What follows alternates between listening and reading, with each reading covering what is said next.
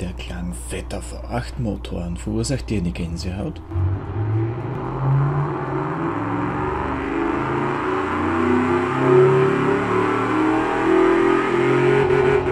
Du träumst schon lange davon, deinen Golf ordentlich aufzutunen?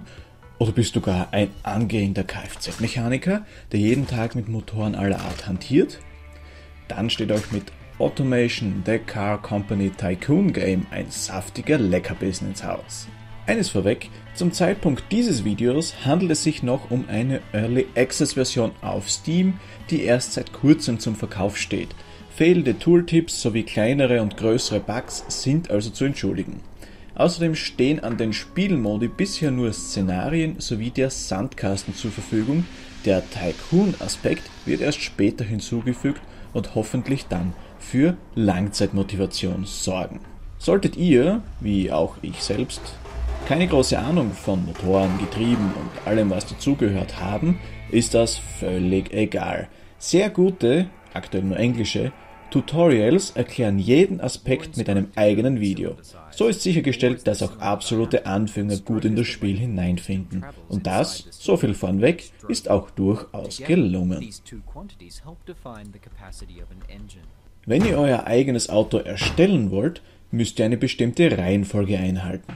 Erstmal definiert ihr das Aussehen und den Aufbau der Karosserie sowie den Antrieb und dann kommt natürlich auch noch die Federung dran. Dabei sind eurer Fantasie dank der Möglichkeit, Scheinwerfer, Lufteinlässe, Spoiler und so weiter selbst anbringen zu können, kaum Grenzen gesetzt. Ein niedlicher Käfer? Okay.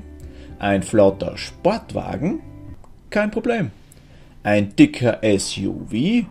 Sicher. Dann folgt die Entscheidung des Motors. Erstmal entscheidet ihr natürlich über die Bauform. Aktuell gibt es 4 und 6 Zylinder sowie V8 und V8 Flatplane und deren Größe. Dann kommen Feinheiten wie die Auswahl und Anzahl der Ventile, Materialien, die Nockenwellen, Kompression, die Art des Kraftstoffes, auch nicht ganz unwichtig, ob es ein Saugmotor oder ein Turbolader sein soll, die Art der Luftzufuhr und natürlich sollte man auch die Auspuffanlage nicht vergessen. Daraufhin könnt ihr euer Gebilde erstmal ausgiebig testen und feintunen, bevor ihr euch den letzten Aspekten widmet. Dazu gehören die Gangschaltung, Reifen, Bremsen, Aerodynamik, Kühlung, Art und Anzahl der Sitze, die Federung sowie die Bordelektronik und die verbaute Sicherheit.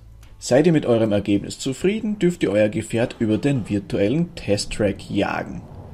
Leider ist das aktuell nur in dieser animationsarmen 2D-Ansicht möglich und ob es hier überhaupt noch 3D gibt, ist fraglich. Aktuell liegen mir dazu leider keine Infos vor.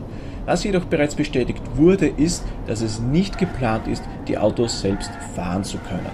Und das war's zu dieser Stunde mit Automation meiner Meinung nach ein grandioses Spiel mit erstaunlichem Lerneffekt, vorausgesetzt natürlich, man hat ein gewisses Interesse an Fahrzeugen.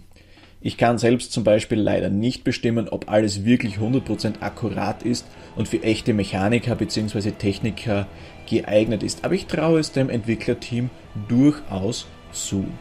Als krönenden Abschluss lasse ich euch ein wenig meiner bisher besten Schöpfung lauschen, einem Hypersportwagen mit 6-Zylinder-Motor, 5,6 Liter Hubraum, knapp 920 PS bei 1340 Kilogramm und 1200 Newtonmetern Drehmoment. Und der Sound dieser Motoren ist wirklich sehr, sehr gut.